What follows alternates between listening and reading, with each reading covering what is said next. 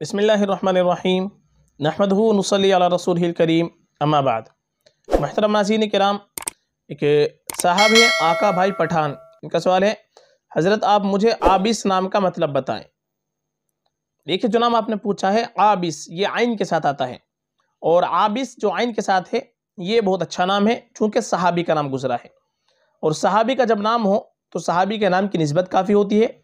सहाबी के नाम में हमको माना की तरफ़ तवज्जो नहीं देनी चाहिए। सहाबी का नाम हमको बिला झिझक रख लेना चाहिए। तो आबिस नाम बड़ा मुबारक है, बिल्कुल हम रख सकते हैं। बाकी माना अगर जानने हैं तो आबिस के मनाते हैं, चेहरे पर बल पड़ना। चेहरे पर बल पड़ना ये आबिस के मनाते हैं, लेकिन चूँकि सहाबी का नाम है, मैंने बतला दिया, सहाबी के नाम में माना की तरफ़ तवज्जो देने की ज़रूरत नहीं है। सिर्फ़ नस्बत काफ़ी होती है। तो सहाबी का नाम है, सहाबी की नस्बत से नाम रखा जा सकता है।